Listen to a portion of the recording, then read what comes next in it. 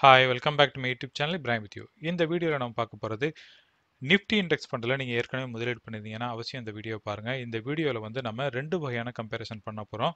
Index ஃபண்டுனா என்ன இடிஎஃப்னா என்ன அப்படிங்கிறத நம்ம இந்த வீடியோவில் விளக்க போகிறோம். இடிஎஃப்னா எக்ஸ்சேஞ்ச் ட்ரேடட் ஃபண்டுன்னு சொல்லுவாங்க. இந்த எக்ஸ்சேஞ்ச் ட்ரேடட் ஃபண்டை பொறுத்த வரைக்கும் பார்த்தீங்கன்னா இண்டெக்ஸ் ஃபண்டு மாதிரியே இதுவும் செயல்படும். இந்த இடிஎஃப்பை பொறுத்த வரைக்கும் இது வந்து பாசிவ் வகை சார்ந்த முதலீடுகளாக இருக்குது. மியூச்சுவல் ஃபண்டை பொறுத்த வரைக்கும் ஆக்டிவ் ஃபண்டுன்னு ஒன்று இருக்குது பாசிவ் ஃபண்டுன்னு ஒன்று இருக்குது.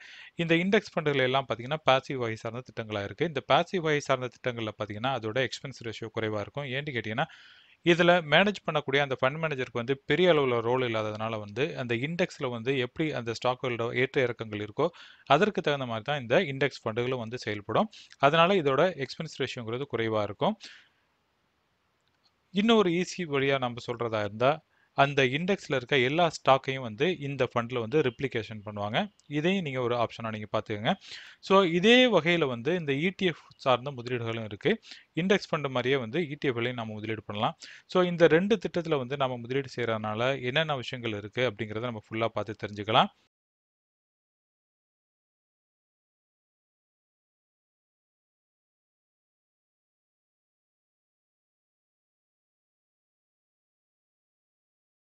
இப்போ நம்ம பார்க்க போகிறது இண்டெக்ஸ் ஃபண்டுக்கும் இடிஎஃப்க்கும் என்னென்ன வித்தியாசங்கள் இருக்குது அப்படிங்கிறத நம்ம பார்க்கலாம். இப்போ தான் யூடியூப்பில் வந்து நூற்றுக்கணக்கான வீடியோ பார்த்து இண்டெக்ஸ் ஃபண்டிலே நான் இப்போ முதலீடு பண்ண ஆரம்பிச்சிருக்கேன். அப்படி இருக்கிறப்ப இடிஎஃப்னு புதுசாக ஒரு விஷயத்த சொல்லி குழப்புறீங்களே அப்படின்னு சொல்லிட்டு நீங்கள் கேட்டிங்கன்னா நம்ம வாழ்க்கையில் வந்து ஒவ்வொரு விஷயங்களையும் நம்ம கற்றுக்கணும் இண்டெக்ஸ் ஃபண்டு சம்மந்தமாக நீங்கள் எப்படி நீங்கள் கற்றுக்கிட்டீங்களோ அதே மாதிரி இடிஎஃப் சம்மந்தமாகவும் நீங்கள் கற்றுக்கங்க ஏன்டா இடிஎஃப்ங்கிறது வந்து ரொம்ப காஸ்ட் எஃபெக்டிவ் வே வழியாக நம்ம முதலீடு பண்ணுறது நம்ம இடிஎஃப்க்கும் இண்டெக்ஸுக்கும் என்னென்ன வித்தியாசங்கள் அப்படிங்கிறத இதை பார்க்கலாம். நீங்கள் இடிஎஃப்ல முதலீடு செய்கிறதா இருந்தால் உங்களுக்கு வந்து டிமெட் கணக்கு வேணும். அதாவது ஷேர் மார்க்கெட்டில் எப்படி நீங்கள் முதலீடு பண்ணுறீங்களோ அதே மாதிரி தான் வந்து இடிஎஃப் வழியாக நீங்கள் முதலீடு பண்ணணும்.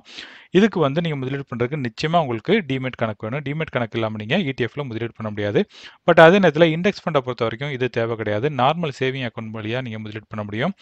எக்ஸ்பென்ஸ் ரேஷியோ பொறுத்த வரைக்கும் பார்த்தீங்கன்னா டைரக்ட் பிளானில் வந்து இந்த பாசிவ் வகை சார்ந்த முதலீடுகளில் பார்த்தீங்கன்னா zero point one seven percent வந்து இண்டெக்ஸ் திட்டங்களில் இருக்குது பட் அதே நேரத்தில் இடிஎஃப்ல நீங்கள் பார்த்தீங்கன்னா இதோட எக்ஸ்பென்ஸ் ரேஷியோங்கிறது ஜீரோ பாயிண்ட் ஜீரோ ஃபைவ் அப்படிங்கிற அளவுக்கு இருக்குது இதோட ப்ரைஸ் எப்படி இருக்கும் அப்படின்னு பார்த்தீங்கன்னா இண்டெக்ஸ் ஃபண்டை பொறுத்த வரைக்கும் பார்த்தீங்கன்னா ஒன் டே டிலேயாக தான் நீங்கள் வாங்க முடியும் விற்க முடியும். பட் அதே நேரத்தில் இடிஎஃப்பை பொறுத்த வரைக்கும் மார்க்கெட்டில் வந்து அன்னைக்கு ரேட்டில் வந்து என்ன நீங்கள் வாங்குறீங்களோ அதை விற்க முடியும்.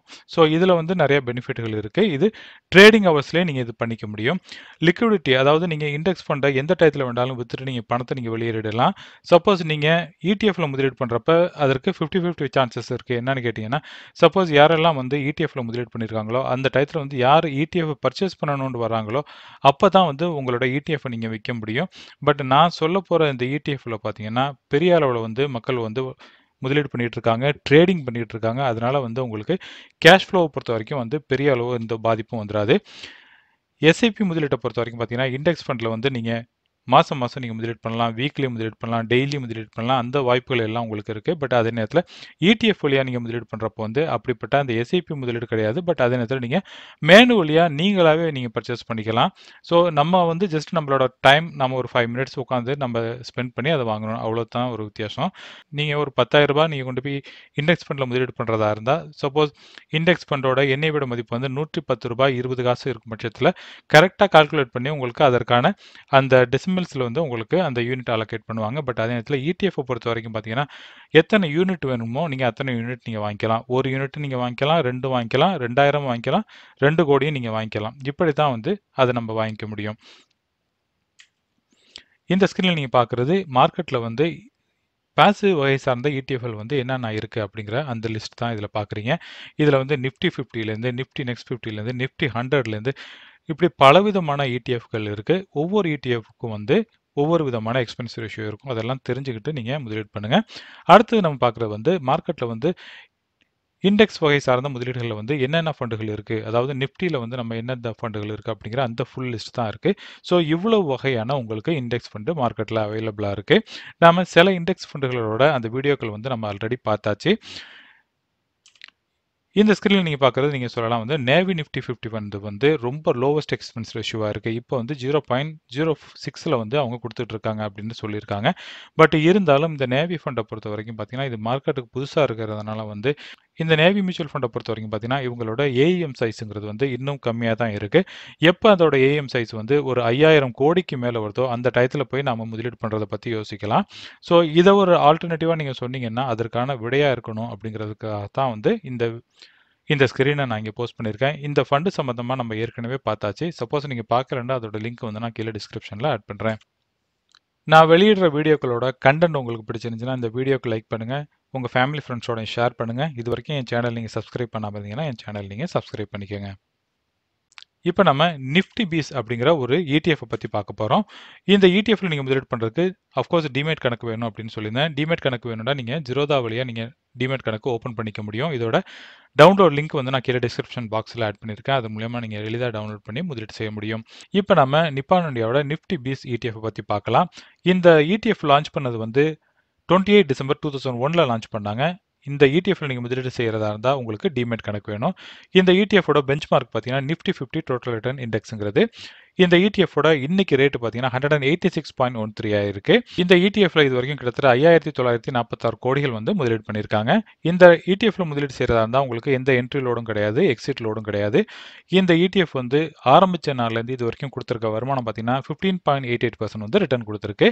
சப்போஸ் நீங்கள் இந்த இடிஎஃப் பர்ச்சேஸ் பண்ணணும்னு விருப்பப்பட்டீங்கன்னா இதோட எக்ஸ்பென்ஸ் ரேஷியோ வந்து ஜீரோ பாயிண்ட் ஜீரோ ஃபைவ் நீங்கள் மியூச்சுவல் ஃபண்டை பொறுத்த வரைக்கும் பார்த்தீங்கன்னா டெய்லி பேசிஸில் வந்து இந்த எக்ஸ்பென்ஸ் ரேஷியோ வந்து கால்குலேட் பண்ணுவாங்க. பட் இடிஎஃப் பொறுத்த வரைக்கும் பார்த்தீங்கன்னா வாங்குறப்போ ஒருத்தர அவங்க பிடிச்சுக்குவாங்க. அதே மாதிரி விற்கிறப்பையும் ஒரு தடவை பிடிச்சுக்குவாங்க. இவ்வளோ தான் தவிர இதில் வேற எந்த ஒரு அடிஷ்னல் எக்ஸ்பென்ஸும் கிடையாது. இந்த இடிஎஃப்ல நான் எப்படி முதலீடு பண்ணுறது அப்படின்னு கேட்டிங்கன்னா நீங்கள் டிமேட் கணக்கு வேணும். அஃப்கோர்ஸ் டிமேட் வந்து நீங்கள் ஜிரோதா கைட் வழியாக நீங்கள் முதலீடு பண்ணீங்கன்னா உங்களுக்கு எந்த அடிஷ்னல் சார்ஜஸும் கிடையாது.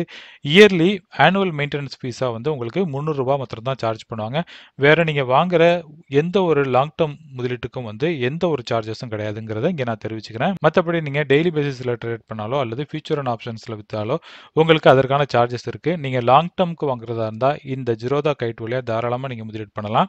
இதோட டவுன்லோட் லிங்க் வந்து நான் கீழே டிஸ்கிரிப்ஷனில் ஆட் பண்ணியிருக்கேன் இந்த இடிஎஃப்ல முதலீடு செய்யணும் விருப்பப்பட்டீங்கன்னா குறைந்தபட்சமாக நீங்கள் ஒரு இடிஎஃப் கூட வாங்க முடியும். இந்த இடிஎஃப் வந்து ஒன் மந்த்தில் கொடுத்த ரிட்டர்ன் வந்து minus four point four six ஆயிருக்கு. த்ரீ மந்த்தில் பார்த்தீங்கன்னா two point five four percent வந்து நெகட்டிவ்ல கொடுத்துருக்கு. அஃப்கோர்ஸ் மூணு மாசமா வந்து பங்கு சந்தை சரிவில் இருக்கிறதுனால இது எல்லாமே வந்து நெகட்டிவ்ல தான் இருக்கு. சிக்ஸ் மந்த்தில் பார்த்தீங்கன்னா ஃபோர் பாயிண்ட் செவன் ஜீரோ பர்சன்ட்டும் ஒன் இயரில் ஃபிஃப்டீன் பாயிண்ட் சிக்ஸ் ஃபோர் பர்சன்ட்டும் த்ரீ இயரில் வந்து எயிட்டீன் பாயிண்ட் செவன் செவன் பர்சன்ட்டும் ஃபைவ் இயரில் வந்து ஃபிஃப்டீன் பாயிண்ட் செவன் ஜீரோ பர்சன்ட்டும் ரிட்டர்ன் கொடுத்துருக்கு. டென் இயரில் பார்த்தீங்கன்னா thirteen point two zero percent வந்து ரிட்டர்ன் கொடுத்துருக்கு.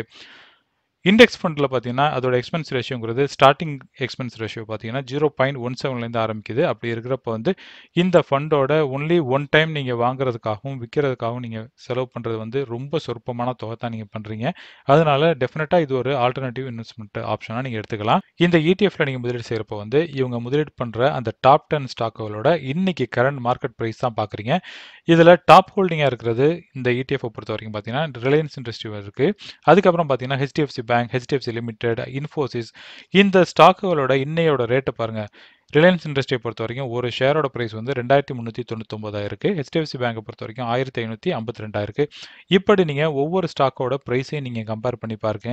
இவ்வளோ விலை மதிப்பு உள்ள நிறுவனங்களில் போய் நீங்கள் முதலீடு பண்ணுறதுக்கு எவ்வளோ பெரிய தொகை உங்களுக்கு தேவைப்படும். பட் அதே நேரத்தில் இந்த நிறுவனங்களில் இடிஎஃப் வழியாக நீங்கள் முதலீடு பண்ணுறதுக்கு உங்களுக்கு மிக குறைந்த செலவாக வந்து வெறும் hundred and eighty four rupees இருந்துச்சுன்னா நீங்கள் இந்த நிறுவனங்களை எல்லாத்துலேயும் நீங்கள் முதலீடு செய்ய முடியும்.